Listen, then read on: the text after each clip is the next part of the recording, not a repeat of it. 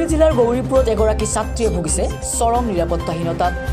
ধুবুৰী জিলাৰ গৌৰীপুৰ আলমগঞ্জ নৱম খণ্ড গাঁৱৰ দহ বছৰীয়া নাবালিকা ছোৱালী জান্নাতুল হাবিবাই এতিয়া মানসিকভাৱে ভাগি পৰিছে। কিয়নো একে গাঁৱৰে যুৱক আয়ুব আলীয়ে দীৰ্ঘদিন ধৰি দি আহিছে নাবালিকাক প্ৰেমৰ প্ৰস্তাৱ।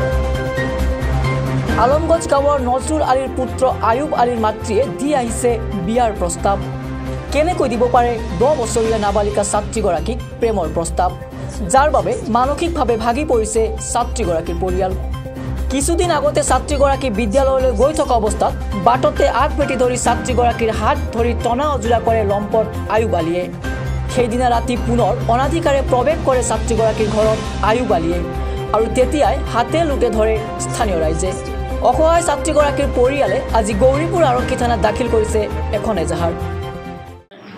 আৰও একটা কথা তাৰ মানে আমি তো বাড়িতে না থাকি বাড়িতে আমি থাকি না তার মানে বাড়িতে মানে পুরুষ মানুষ একটাও থাকে না আমার ছোট একটা ছেলে আছে। মানে আমি বাড়িতে থাকি না জন্যই মানে ওরা চান্স পায়। যার জন্য আমি এইটার একদম পুরো উপযুক্ত বিচার আমি চাই। এইটাই কথা আমার।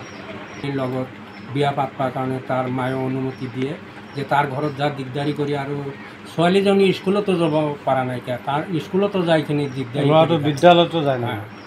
বিদ্যালয়তো যায়। হা, স্কুলতো যায়। ছোৱালীজনীৰ বয়স কিমান হ'ব? দহ বছৰ। এতিয়া কি বিচাৰে?